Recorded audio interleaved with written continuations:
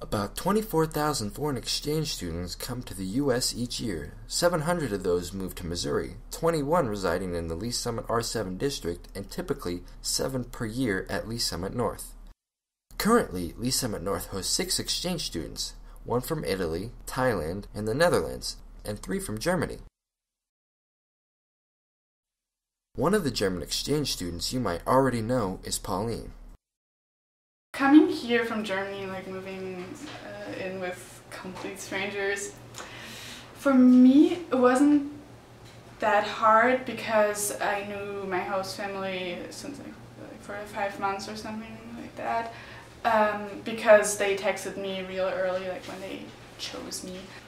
It has been easy to make friends because I have a host sister my age. I also have other friends like uh, through theater because I was in Tarzan, and so like, I met met a lot of people there. I made a lot of friends. So. I think that the teaching techniques here in general are better. Teachers are way more like personal with their students. Like they, it feels like they actually care about you. I don't know if that's the case. I guess my host family is very special to me because they've been so nice and so generous, like from the first day on, and.